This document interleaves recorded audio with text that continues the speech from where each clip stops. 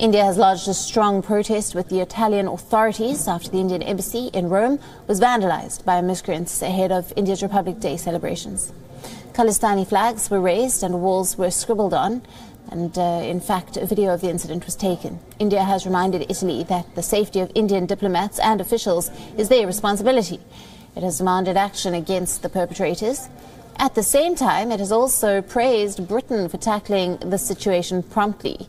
These miscreants were backed by outlawed groups like Sikhs for Justice, and they had been active in many Western European countries and North American countries.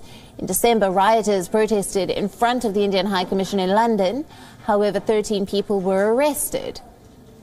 The UK's strong action has prevented any untoward acts by Khalistan supporters in London. The Indian government has lauded the UK for its proactive role. India had been in touch with many countries over the safety and security of its diplomatic premises.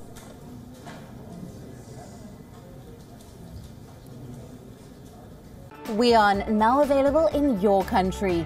Download the app now. Get all the news on the move.